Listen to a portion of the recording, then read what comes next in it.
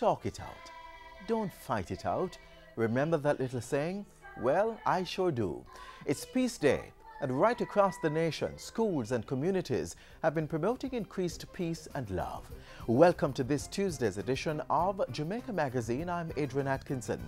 Coming up in the package, a breakdown of the budget of the Ministry of National Security for the 2015-2016 fiscal year.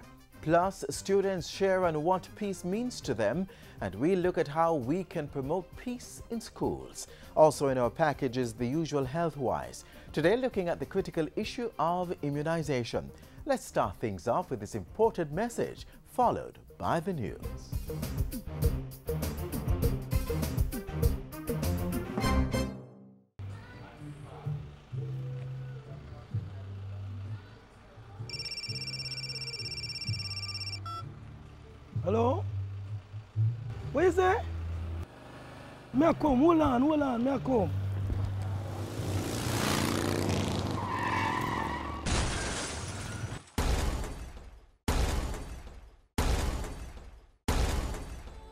There is no excuse for speeding. In 2014, 330 persons died in road accidents. 65 persons were motorcyclists. So stop speeding. Motorcyclists and pillion passengers, wear your helmet. Ride carefully and kill your speed before it kills you. Remember, road safety begins with you.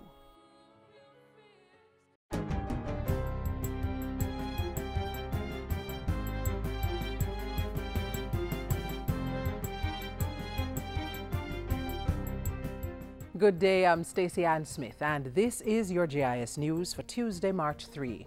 The Ministry of Health has begun research into the chikungunya outbreak in Jamaica to fully determine the extent of the outbreak and understand how it has affected the country. Acting Chief Medical Officer Dr. Marion Bullock Ducasse says the ministry is working with national and regional health researchers on the study. The findings will help officials develop guidelines for the management of chikungunya fever in Jamaica. The ministry will also use the opportunity to get accurate numbers of persons affected. In the meantime, Dr. Ducasse is again urging persons with underlying medical conditions who have CHIKV to seek medical attention immediately. Dr. Ducasse says these persons are at increased risk of severe symptoms and complications, including death. A Chinese delegation is in Jamaica to begin collecting data for the proposed design of the child and adolescent hospital in the western section of the island. The delegation will be in Jamaica until March 22. At the end of the visit, Health Minister Dr. Fenton Ferguson says the goal is to have an idea of the way forward in terms of design and budget. The visit is in keeping with a request for technical cooperation from Prime Minister Portia Simpson Miller on her visit to China in 2013. It's proposed that the modern state-of-the-art child and adolescent hospital will be built on the grounds of the Cornwall Regional Hospital. Minister Ferguson says the hospital will result in quicker access to diagnosis and treatment for children and adolescents. Jamaica is among eight Caribbean countries to benefit from a 15 million US dollar grant from the Japanese government, which should strengthen the country's resilience to climate change. Japanese Ambassador His Excellency Yasuo Takase made the announcement at the recent launch of a hazards handy manual at the Office of Disaster Preparedness and Emergency Management. The manual was developed by local stakeholders in disaster mitigation in collaboration with the Japan International Cooperation Agency. We must arm ourselves with the relevant information and know-how in order to effectively deal with disasters. The Hazards Manual will be available for sale at a cost of $300, with the proceeds going towards a community vulnerability fund. A limited free distribution scheme is available for government agencies and non-governmental organizations. The manual is also part of Jamaica's exhibition at the third United Nations World Conference on Disaster Risk Reduction in Sendai, Japan from March 14 to 18. Agriculture Minister Derrick Kellier is imploring Portland farmers to increase their banana production as the country seeks to ramp up export of the crop to markets which include the United Kingdom. Minister Kelly says the parish is traditionally one of the leading growers of banana and farmers there need to reclaim their position. Our aim for Portland farmers is for you to produce at least 30% of the targeted amount of bananas for export within the short to medium term. The Agriculture Minister was speaking at a recent Rural Agricultural Development Authority RADA Open Day held at the Folly Oval in Portland. He said several plans were on the table to increase production in the parish. These include an input credit scheme for farmers through the All Island Banana Growers Association, technical support through the Banana Board, and construction of a value added facility to which Portland farmers will be given contracts to supply banana. It's also intended to have 70% of new farmers consisting of youth and women. And finally, 600 Northwest St. Ann residents are now being given a second chance to gain additional education and skills training as a result of a government-private sector partnership. The Second Chance Initiative program was recently rebranded and relaunched to give residents a wide array of training from the Heart Trust NTA and private partner Bars to Go. It received funding from the Constituency Development Fund. We provide the classes free of charge.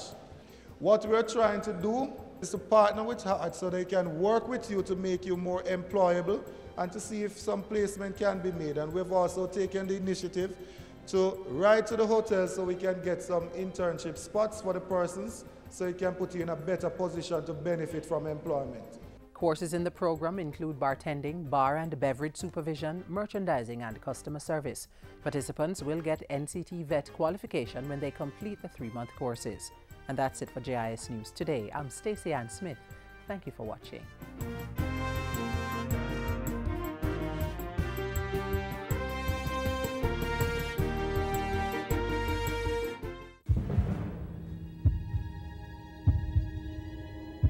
What are you doing to help the fight against crime?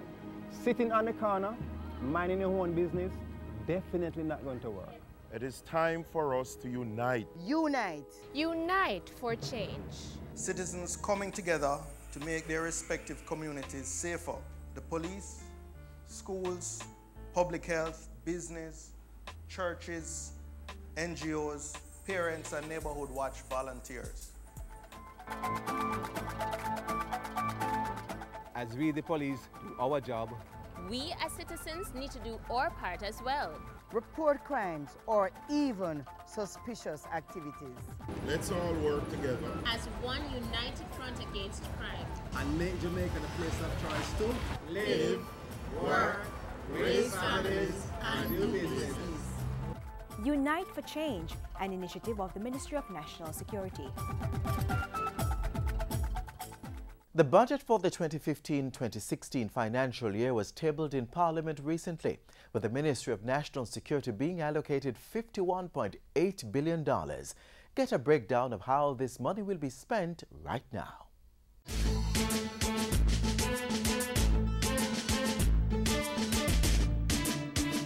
The Ministry of National Security has been allocated approximately $51.8 billion for the 2015-2016 financial year, which begins on April 1. That figure was outlined in the Estimates of Expenditure or Budget when it was tabled in Parliament on February 19.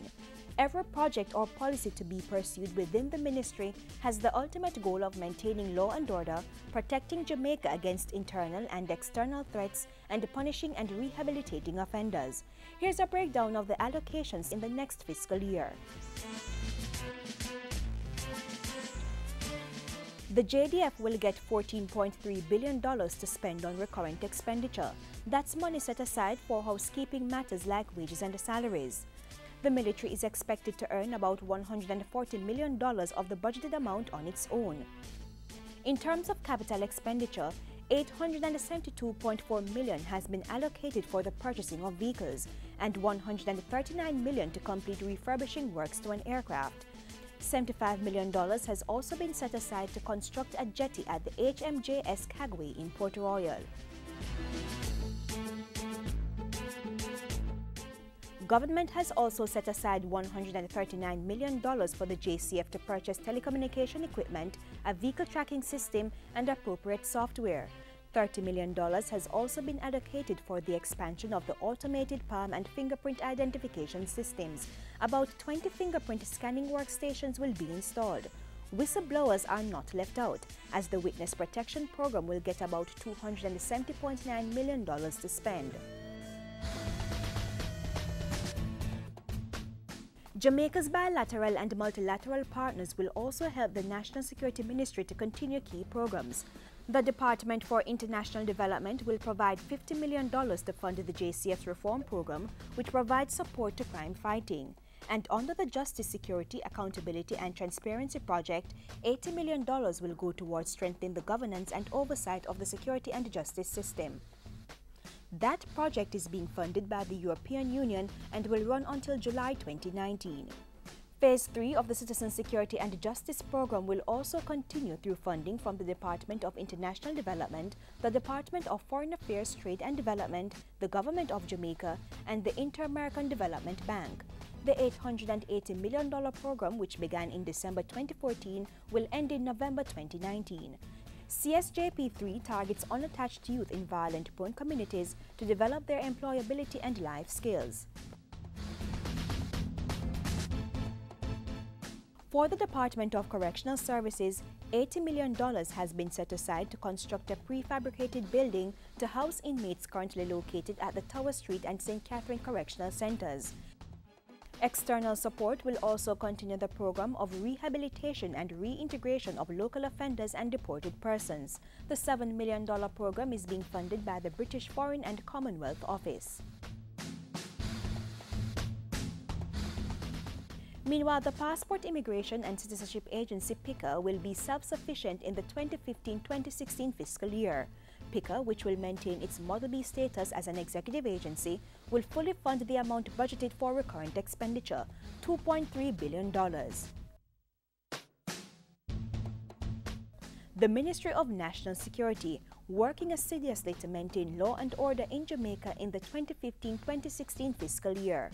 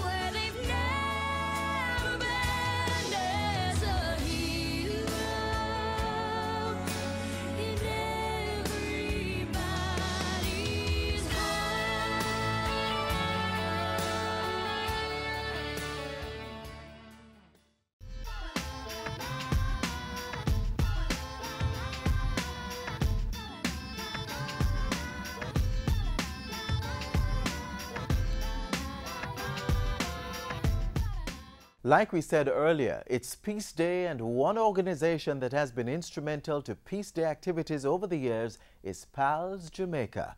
This organization was founded in 1994 and is endorsed by the Ministry of Education. Originally, PALS stood for Peace and Love in Schools, but in March 2004, the organization was renamed Peace and Love in Society. One of its goals for Peace Day and the rest of March is to fulfill the theme a better Jamaica, piece by piece. We went into the schools to find out from students what peace means to them. Peace means that you can, like, if someone step on your toe, you can, you don't want to have to reel up. You can just say, you step on my toe. It's just peace.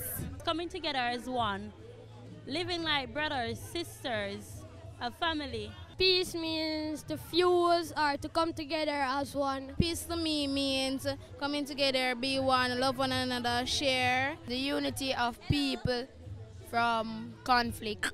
We must learn to secure one another and try and be together and try help one another in, in the best way we can.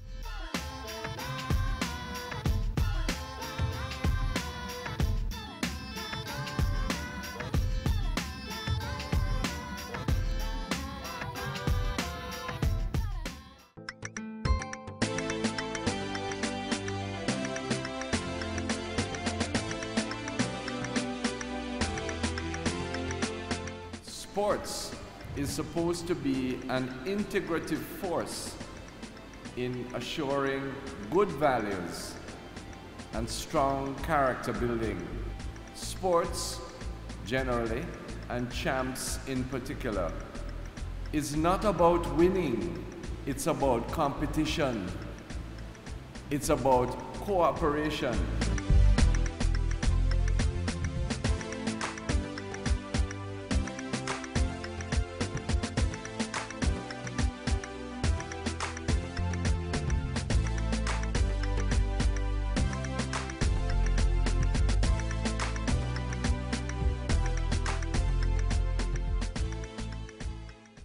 Continuing on the theme of using peace for a better Jamaica, we now shed light on one initiative that has been promoting peace in our schools. Take a look.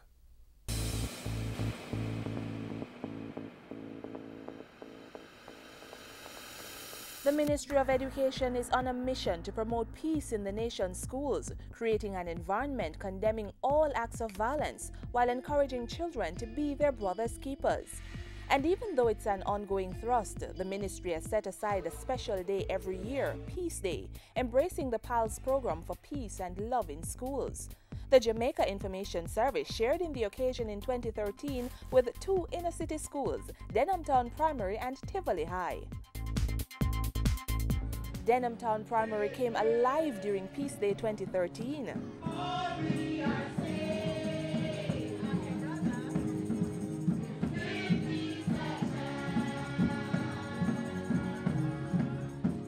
Sentiment was also echoed through the use of the scriptures, Psalm 34, verse 12. Keep your tongue from evil and your lips from speaking deceit. Depart from evil and do good. Seek peace and pursue it. Lord, make me an instrument of your peace. Where there is hatred, let me sow love. Where there is injury, pardon. Where there is doubt, faith. Jamaica need peace no more than ever. And right here at Denham Town Primary School, we need the peace going. This is one of our role, especially from the Guidance Council, right? To teach the peace, hack the peace, and portray some peace as a mentorship to them. This mentorship exercise is spearheaded by a committee which comprises members of the Jamaica Defense Force and the Christian Lawyers Fellowship. Mentorship is done from all possible angles, inclusive of group and individual counseling. A club called the Beacons for Peace and Achievement, BPA, has also been established within the school. The Beacons for Peace and Achievement overall works across the 14 parishes of Jamaica, but predominantly in the parishes of Kingston and St. Andrew, we work with youth groups across Jamaica through the National Center for Youth Development, approximately 600 youth clubs across Jamaica. So we work with inner city schools and inner city communities targeting unattached youths. The BPA babies, who are students at Denham Town Primary, mirror the work of the main organization by trying to maintain a peaceful environment.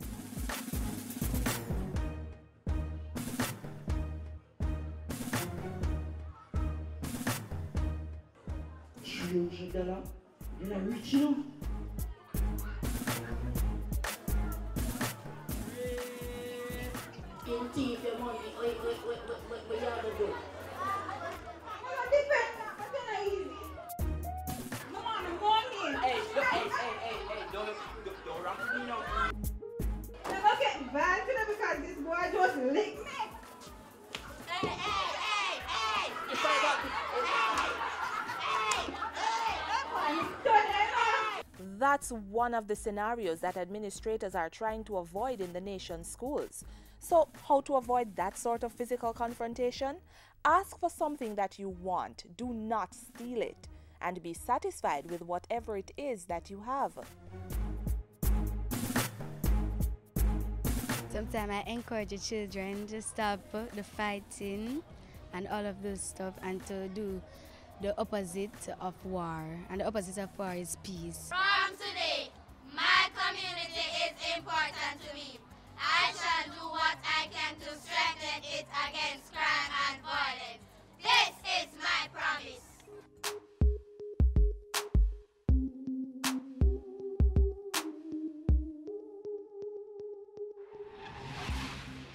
Hi, this is Tessanne, and I want all you young people to listen to me very carefully. Crime doesn't pay. You can do so much with your life. Don't throw it away in some gang. Stay in school and work hard for what it is you want. It's up to you. Your future will be determined by the decisions you make. Remember, a gang is a dead end. A message from the Ministry of National Security. Jamaica in January 2015 actually amended our immunization schedule so that children would have their first dose of the measles, mumps, rubella vaccine at 12 months, the second dose at 18 months. This meant that we were giving the second dose earlier as prior to this, the schedule called for it to be given at four to six years.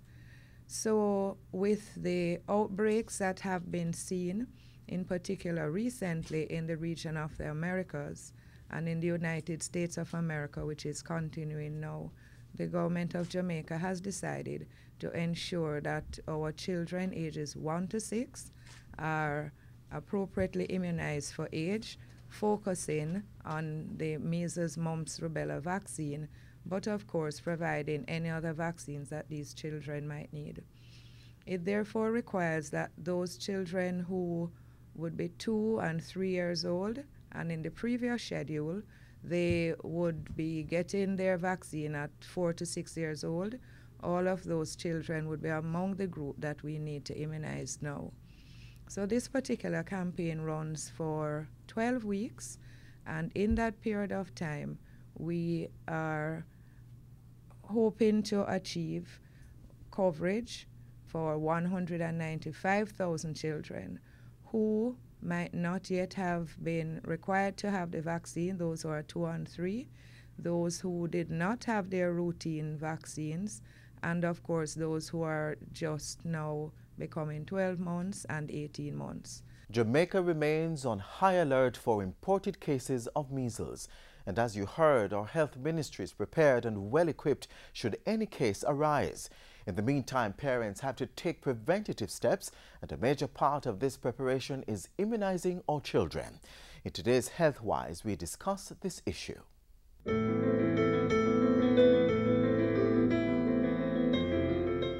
Immunization is the process by which an individual is protected from getting disease. When someone is immunized, he or she is given a series of vaccines which can be taken orally or injected into the body. These vaccines help the body to fight diseases. Imagine a baby bumping into a wall as he tries to take his first step, having been needlessly robbed of the gift of sight by complications from measles infection. Imagine the child not being able to express his or her feelings because of mental retardation caused by rubella. Let your imagination take you further and envisage your little baby girl struggling to breathe because complications from diphtheria has blocked her air passage. Visualize your child having to use pulleys to help him reach his food after being paralyzed by polio. Then conceive watching your child suffer and even die from diseases, knowing immunization could have prevented them from occurring. Let's now change the scene completely and picture your child gazing up into the sky, observing the movement of his kite.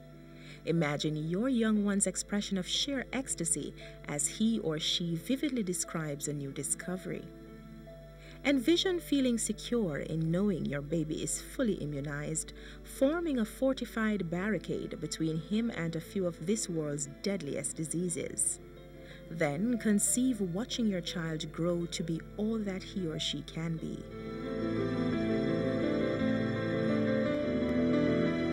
All children need to be given the chance to be all that they can be. No child should have to suffer from a disease that could be prevented with vaccine.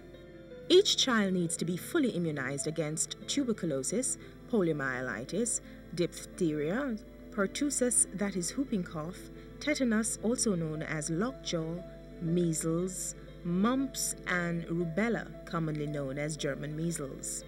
Immunization protects children against diseases that are severely dangerous to children. In fact, many of these diseases can kill the children. And these diseases are still occurring all over the world. And so our children in Jamaica are at risk of getting these diseases should they be imported you know, from visitors to Jamaica or persons who go to these countries, get the disease and bring them back. And so that is why it's very important for us to protect our children against these diseases. The government of Jamaica recognizes that immunization is one of the safest and most cost effective interventions in health that has resulted in enormous benefit to humanity. In order to ensure the protection of our children and emphasize the importance of immunization, the immunization regulations were passed in 1986. The regulations state that all children must be fully vaccinated prior to entering school. Schools under the regulations include nurseries, daycare centers, basic and primary schools. Any person who contravenes or fails to comply with any of the provisions of the regulations shall be guilty of an offense. Under the immunization regulations, the main responsibility is that of the parents. But of course, the responsibility also um, lies with the operators of these schools and the principals of schools. So the operators of these schools, the principals of these schools are also liable under the law. They should not accept children into schools unless they are adequately vaccinated. And it is for this reason why we encourage them to ensure that the child should bring a copy of their immunization card to the school at registration time so that they can verify that the child is adequately vaccinated. Due to the successes of the Health Ministry expanded program on immunization, the EPI, many Jamaicans have never seen cases of polio, measles, tetanus, or diphtheria. So they are not fully aware of the severity of these diseases and deaths that could be associated with them. As a result, some parents and guardians do not make much effort to have their children vaccinated. The Ministry of Health has the responsibility to provide vaccinations free of cost in the public health sector in order to ensure the optimal health of children. However, under the immunization regulations, parents and guardians have an equal responsibility to take their children for vaccination within one year of the child's birth or soon thereafter. For further information on immunization, contact the Ministry of Health. You can also get valuable information from health staff such as the public health nurse, midwife, community health aide at the health center or hospital. Your doctor's office can also answer your questions about immunization. Prevention is always better than cure, so immunize your child today. Parents, make sure the children get immunized. Hear this! Immunization, it is a must. This is not a joke thing, this you can trust. It is required by law for entry to nursery to daycare and to schools. Listen up, it is necessary to prevent diseases such as the measles, the poliomyelitis, the lockjaw, and the whooping cough. Immunize your kids, keep them healthy, keep them strong. Prevent deadly diseases such as mumps, rubella, and diphtheria. Immunize your child today. Immunization, a key to good health. A message from the Ministry of Health and PAHO.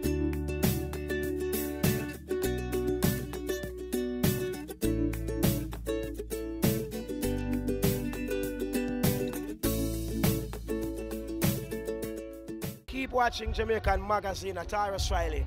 Let us try to have a crime-free Jamaica now. Sing it, sing it. That's our show for today. Tune in again tomorrow, same time, for another insightful edition of Jamaica Magazine. If you had feedback on today's program or queries, feel free to send us an email to jamaicamagazine at jis.gov.jm. Keep in tune with the latest news and national happenings by clicking on our website, jis.gov.jm, and downloading our JIS News app on your smartphone from Google Play Store. On behalf of the hardworking team here at the JIS, I'm Adrian Atkinson, thanking you for watching.